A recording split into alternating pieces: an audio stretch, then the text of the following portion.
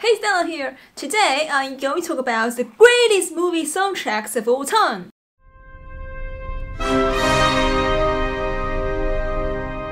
My criteria for the best soundtrack is very simple. First, it has to be a good movie.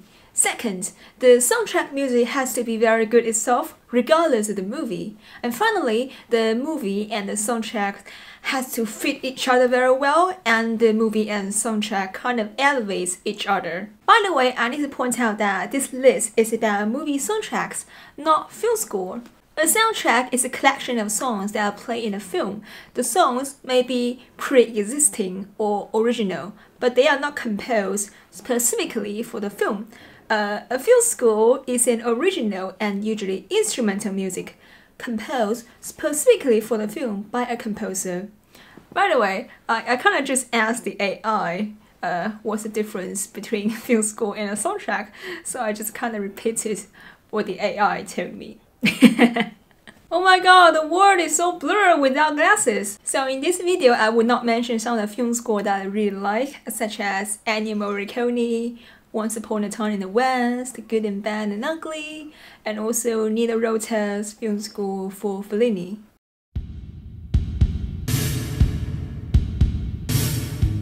So the director Sofia Coppola is a big fan of My Bloody Valentine, so she invited Kevin Shields to work for the soundtrack of Lost in Translation, and then uh, Kevin Shields contributed four songs to the soundtrack alongside uh, My Bloody Valentine's Sometimes. I feel like Lost in Translation can be used to describe shoegaze and dream pop music in general, and soft hazy sounds about internal emotions that cannot be verbally expressed or translated.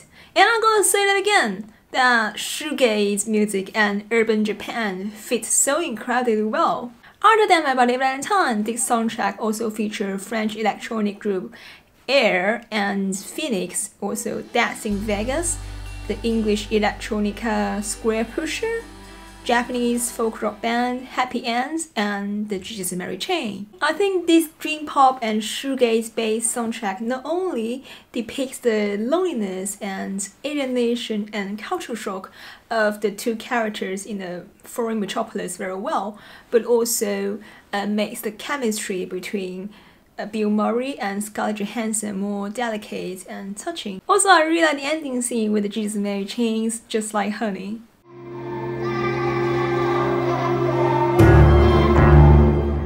Okay, I don't know how many people have seen this movie. This is a sci-fi movie by my favorite film director, Wim Wenders. So the director Wim Wenders requested his personal favorite bands, uh, Talking Heads, Lou Reed, Can, R.E.M., Elvis Costello, Nick Cave, Patti Smith, Depeche Mode, U2, etc., um, to write a song that sounds like the future, to imagine what the band would sound like a decade later, which is when the film was set. So U2 and REM offered outtakes from their recent hit albums, which are Achtung Baby and the album Ton, an album that I like a lot. And I am the biggest REM fan in China. just, just kidding. And Talking Heads and Can recorded some of their final songs as a band for this soundtrack. Pitchfork reviewed this album as What's remarkable about the album, however, is its consistency despite the variety of artists and sounds. Its tone is forlorn, almost decadent in its melancholy, which manifests in a strange, uneasy shimmer that runs through so many of these songs. If all the above still doesn't entice you about this soundtrack, I don't know what will. And it's an amazing movie as well. Whoa, whoa. You know I'm almost grown. Whoa. Yeah, and I'm doing all right in school. American Graffiti tells the story of a group of teenagers and their adventures over the course of a night set in Modesto, California in 1962. I remember I watched this movie I think when I was 17 which is which was a similar age to the characters in this movie and I was having a very typical Asian 17 year old and so I didn't really get to experience all the fun in this movie like cruising, partying, drinking, things like that. So I just find this movie quite fascinating, a little bit alien but also quite fascinating. The 41 songs American Graffiti soundtrack are mostly classic rock and roll songs from the 50s, such as Chuck Berry, Buddy Holly, Fats Domino, and also the 60s, the Beach Boys. Generally, just a very great selection of classic rock and roll and also what the director George Lucas was listening was listening growing up. what boomers were listening growing up.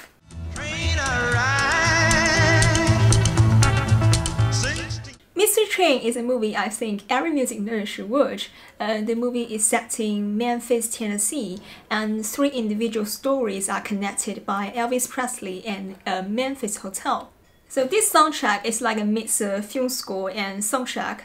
Uh, the soundtrack has like rockabilly, rhythm and blues by Elvis Presley, Otis Redding, Roy Orbison, the Bar-Kays, etc.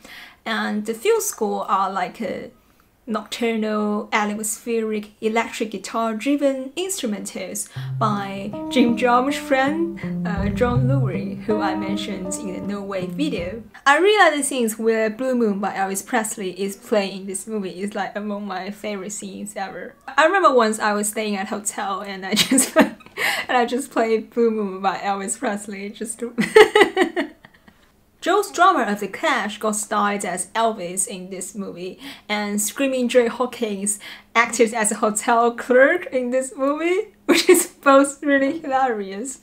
Jim Jarmusch often has like music stars acting in his movies, such as Iggy Pop, Tom Waits, RZA, and The White Stripes. By the way, Neil Young's film score for Jim Jarmusch movie uh, Dead Man is pretty amazing. Definitely check it out if you have listened. And personally, I can really relate to the characters in Jim Jarmusch movies. I, I feel like they, they, they are just a little bit like me, I think. I think if one day Jim Jarmusch needs like a very totally untrained amateur actress to act as an ultra slow fan, I think I'm a good fit.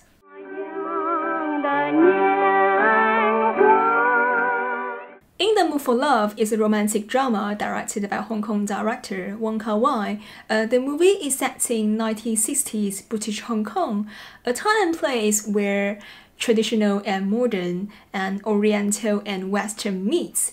And the soundtrack is pretty much an accurate uh, representation of that. You got like 90s, 40s Chinese pop ballads, Shanghai jazz, Beijing opera, and also Spanish songs by Nat King Cole, and also some of the original film score by the Japanese composer, uh, what's the name? Shigeru Umebayashi. also, the soundtrack does a very good job playing up the hidden, unspoken lust and desire between the two characters. Wong Kar Wai grew up in the 1960s Hong Kong, and these songs kind of made up his childhood memories. And I also feel like this soundtrack feels very Hong Kong to me. Yeah, and I'm going to visit Hong Kong next week, and so I'm planning to listen to this soundtrack when I'm in Hong Kong. Yeah.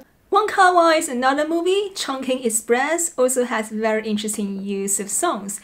Imagine the song California Dreaming by the Mama and Papas, also the Cranberries and Cocteau Twins playing with the scenes of Hong Kong streets. And they are used very, very well, and I must say that Wong Kar Wai is very good at using music.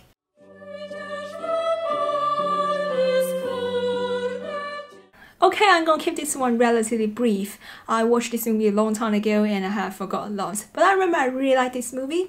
Uh, so, La Double Vie de Véronique uh, is a German film directed by Polish director Krzysztof Kieslowski. the main characters are music teacher and soprano, so music plays an important role in this movie. The soundtrack was scored by Polish composer Zbigniew Preisner. This is the first time I try to speak Polish in my life. it's kind of like opera music. Anyways, both the soundtrack and movies are really good. Definitely check it out if you haven't haven't seen or listened. I don't, by the way, is this soundtrack or film score? I don't know. Us in Count Patreon to get 10% off of Criterion Collection. Thank you very much.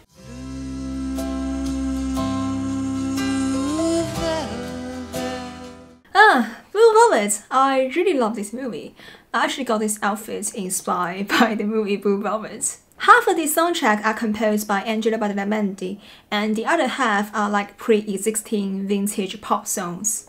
Blue Velvet is the first movie that David Lynch worked with Angelo Badalamenti, who also composed for Twin Peaks and many other David Lynch projects. For Velvet, David Lynch requested Angelo Badalamenti to write a score that had to be like Shostakovich, be very Russian, but make it the most beautiful thing, and but make it dark and a little bit scary. Another funny thing is that David Lynch told the producer, You get that thing, man. There are 27 zillion songs in the world. I don't want one of them. I want this song and he was referring to uh, Song to the Siren by this Mortal Coil, which is David Lynch's all-time favorite songs. Actually, the 80s 4AD goth ethereal sound fits David Lynch very well, and David Lynch and Cocteau Twins are like a match in heaven. However, at the end, David Lynch didn't really get the song. Instead, uh, he got Mysteries of Love, composed by Angelo Badalamenti. I also really like the scenes where In Dreams by Roy Orbison is playing in this movie. And Dennis Hopper gave really, really great performance in this movie.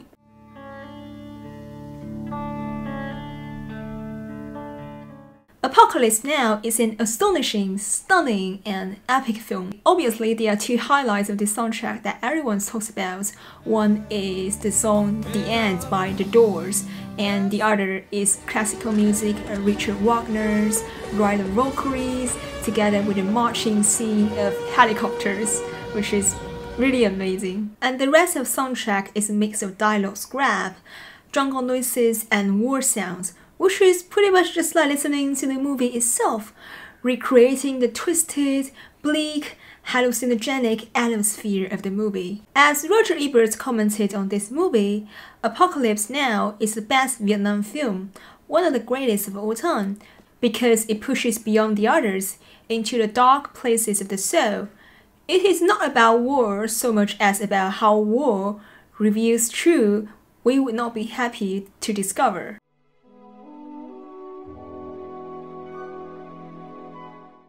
2001 A Space Odyssey, the 1968 sci-fi by Stanley Kubrick, is one of my favorite films of all time. I remember the first time I watched it, I was completely in awe and captivated by it. I just have never seen anything like this, and never seen anything like this ever since. At first, Stanley Kubrick commissioned the Hollywood composer Alex North to compose for 2001 A Space Odyssey, who had also previously composed Kubrick's Spark Spartacus. However, during the post-production, Kubrick chose to abandon Alex North's music in favor of classical music. On YouTube, there are some videos displaying how 2001 A Space Odyssey would, would be like uh, with the original score of Alex North. You can check it out if you're interested. Compared to the original score by Alex North, the classical music by Johann Strauss and Richard Strauss is more timeless, more transcendental, more objective, more monumental, and more euphoric. Not that the original score is bad, it just doesn't really have the wow effect that really really makes the movie. It's kind of expected and safe, like what would you expect from a 60s Hollywood score. It's big, but it's not grand enough for a movie like 2001 Space Odyssey. Anyways, I think language just cannot describe how classical music is really used so well in 2001 A Space Odyssey. This kind of beautiful, majestic space and universe. How would Richard Strauss feel that most people nowadays actually discover this song, uh, also sprach Zarathustra from a movie? It's almost like God commanded Richard Strauss to write a score in, 18, in 1896 that would be perfect for a movie about space 72 years later. the movie and the song just fit so perfectly. And supposedly Richard Strauss was inspired by the German philosopher Nietzsche and then he wrote this score. Okay, enough about 2001 Space Odyssey. I, I don't think I can really say anything more interesting that people haven't really spoke about before. Anyway, Yeah, what a movie and what a soundtrack. The whole soundtrack is also a masterpiece and the movie just once in a lifetime experience. And I, yeah, I kind of want to check it out again soon. If you haven't seen it, definitely check it out. Also, the use of classical music in Clockwork Orange is pretty interesting too.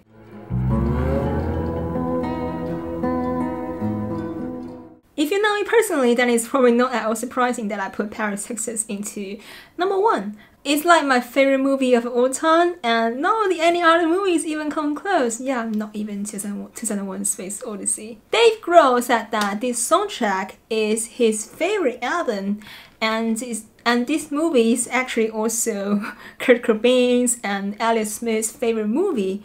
Also, there's an author called Alain de Botton also said that this movie is his personal favorite. Also, this movie won the prize of Palme d'Or at the 1984 Cannes Film Festival. So yeah, if you haven't seen it, definitely check it out and you won't regret it, I promise. This soundtrack is by Ry Cooder and is mostly of acoustic guitar instrumentals. I would say what's outstanding about the movie and the soundtrack is that it evokes a very peculiar feeling, Uh, a desolate and barren landscape, but it's also hauntingly beautiful and strangely comforting. And these soundtracks, I would say it works better if you have already seen the movie with context. And the slide guitar also has a very ghostly, um, uneasy vibe to it. I remember once I set the starting riff as my notification sound for receiving messages, and my roommate at the time was like, Could you please change that? That is so scary and creepy. and personal favorite song of the soundtrack is No Safety Zone, Houston in Two Seconds. She's leaving the bank, and there is also this eight minute long monologue by, by the actor Harris, Harris Dean Stanton. This movie has a very well written screenplay, and the screenwriter of this movie, uh, Sam Shepard, also acted in a movie that I really like called Days of Heaven. A while ago, I found that uh, Sam Shepard had dated Joni Mitchell and Patti Smith in the 70s. I watched this movie for the first time when I was 16 on a Sunday afternoon, and it has become my personal favorite ever since.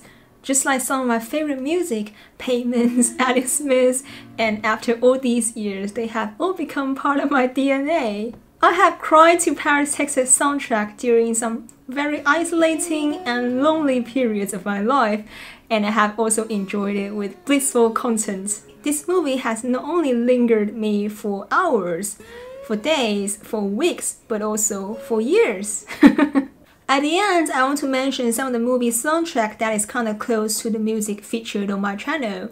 Good Will Hunting, The Perks of Being Wallflower, Trainspotting, Vanilla Sky, Velvet Goldmine. Okay, that's about my list of best soundtracks.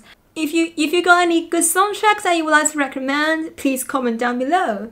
Also, I am aware that I have omitted some of the good choices either because I haven't really seen the movie or just because it's not really I don't like it as much as the 10 that I mentioned today, either either the soundtrack or the movie. And I want to thank my Patreon support. Uh, thank you very much. Okay, I think that's about today's video. And the first thing I'm gonna do is to drink water over there. Yeah. See you, bye bye.